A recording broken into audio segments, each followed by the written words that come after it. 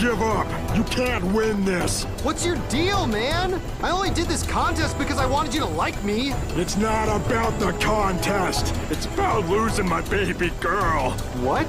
Margaret's grown up so fast. Every time she brings one of you yahoos to the house, I'm afraid you're gonna take her away from me. I can't lose my hug bug.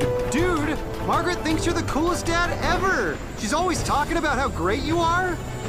No matter what happens, you're always gonna be her dad. She loves you, man. Wow, that's a really nice thing to say. I kind of feel awkward now. Should we just hug? Oh, sh- yeah, okay. Ah! why is the water warmer here?